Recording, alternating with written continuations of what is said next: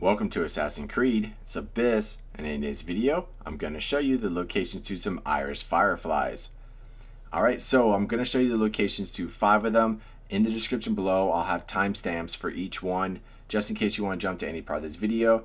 Now I'll admit, I thought this was going to have a cool effect just like the base game, but it kind of doesn't, so you don't really need to get a bunch of them. That's why I'm going to show you the locations to five of them.